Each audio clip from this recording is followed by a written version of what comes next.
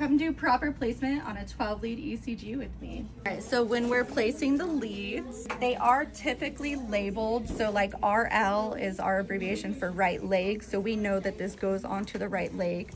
But if for some reason your leads don't have labels on them, it actually goes in order on um, the wires, starting at the right leg, right arm, V1 through 6 across the chest, left arm, left leg. So if you follow that order here, even without the labels, you're going to get the correct electrode that we placed on the body. Same with left leg. Mm-hmm.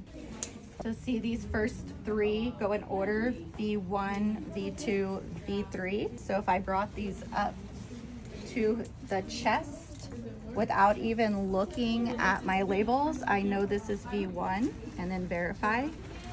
This is V2, it's the second one there. And here we have V4 being placed here. Also have our V5 lead right here.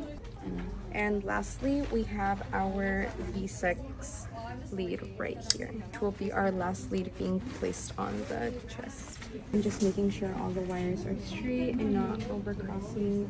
Uh, yeah.